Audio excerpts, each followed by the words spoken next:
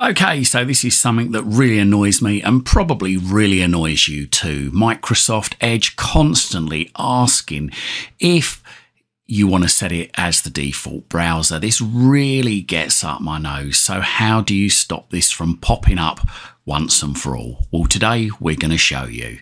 Stick around. All the details coming up shortly. Don't forget to like this video, share it and subscribe to my channel. Doing these three things help us make more great videos for you. So, as I say, this is a real bugbear of me. Is Microsoft Edge keep popping up and asking us if you want to set it as the default browser. Now, this guide is going to show you how to quickly and easily stop these messages from coming up for good. So what we need to do is first of all, close down the browser, make sure that it's closed. So click on the cross in the top right hand corner and best bet is to make sure that you've got no other windows open. Then you want to click on the start button here. Incidentally, this will work in Windows 7, Windows 8, 8.1, Windows 10, Windows 11, and possibly when it comes out, Windows 12 too. So click on the start button and then just type on your keyboard reg edit and then hopefully after a few seconds under best match you should see registry editor system. Move your mouse over that and then click on the right hand mouse button. Once you've clicked on the right hand mouse button you'll get this sub menu come up.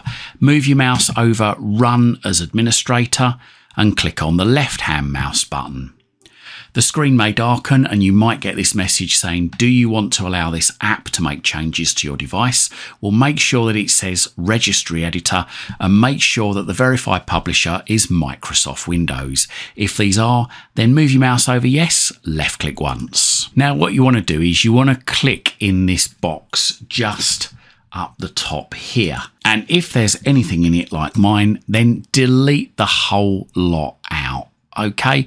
And once you've got there, then you want to type computer with a capital C. The rest of it is in lowercase and then a backslash. And then when you see this, use your arrow keys on your keyboard to go down to H key local machine and highlight that, but don't push enter, don't click anything. Put in a backslash and then you want to go down with your arrow keys again to software, put in a backslash and then you want to go down to policies. So just keep tapping the uh, the downward arrow on your keyboard until you see policies. There we go. And then type a backslash. And then you want to go down to Microsoft. Again, type a backslash. And then you want to go down to Edge. And then here you can press enter or return on your keyboard. Right, now in here, you're looking to see if you've got something that says default browser setting enabled.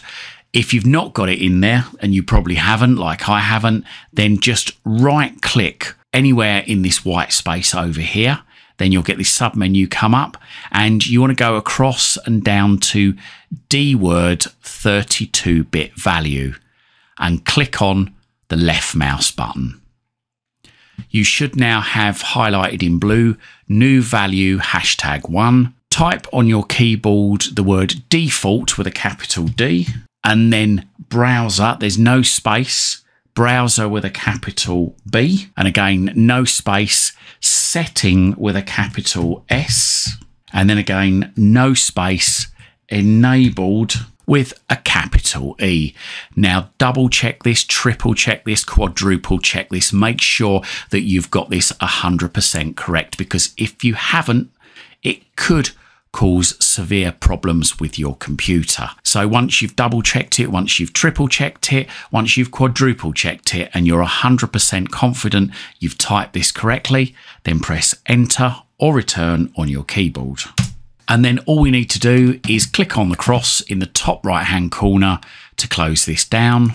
And then if we open up Edge again, you will see that that has now gone. It's not asking us if you want to set it as your default browser. Now, this doesn't stop you from setting it as a default browser. You can do that if you want. Just click on the start button, click on settings, and just type the word default and uh, then click on default apps. And then once you've got your list of apps, scroll down to Microsoft Edge and then click on that. And there you still have the option to set it as the default browser, but it's not going to come up and keep asking you if you want to set it as a default browser at the top of Edge. Now, what if you want to restore this back? Then all you have to do is once again, just close down the browser click on the start button and then type reg edit. And then hopefully after a few seconds under best match registry registry editor system should appear. Click on the right mouse button then you'll get this sub menu come up. Left click run as administrator. Click on yes and then what you want to do is you want to find this key again. Now, hopefully it's still on your screen. If it's not, then you're just going to have to type all that in again up there as you did before. And then all you do is click on default browser setting enabled and then either press the delete key on your keyboard or right click on it and then left click delete and then say yes there and then close the registry editor down by clicking on the cross in the top right hand corner and then open up Edge again and you should see, not right now, but at some point, it should ask you once again, do you want to allow Microsoft Edge to be your default browser? Now, it's not going to come up straight away, but it will come up again in the future. So there you go. I hope this guide helped. And if it did, consider hitting that thanks button and making a donation to this channel. Or if you can't do that, have a look in the description down below. I've got links down there to my Amazon shop, which has got all the things I love on Amazon at the moment. There's also links down there to VPNs, Fire TV sticks, Fire TV cubes, and Fire Stick accessories. So if you're in the market for any of those, please consider using those links. Buying, subscribing, and donating really does help support this channel. It helps me to be able to dedicate more time to spend researching to bring you these great videos. And whilst you're at my YouTube channel, why not stick around? I've got thousands of other videos for you right here, right now, covering all sorts of subjects. Hopefully, whilst you're here, you're going to find something to educate you, entertain you, amuse you, and maybe even save you some time and money. And if you do see any videos whilst you're here that you think your friends, your family, or your work colleagues might like to see, then please don't forget to share these videos on your social media timelines. Check me out on X, I'm at CWTEK. Also, check me out on my website, that's cwtek.co.uk. Thanks for watching and speak to you again soon. Don't forget to like this video, share it and subscribe to my channel. Doing these three things help us make more great videos for you.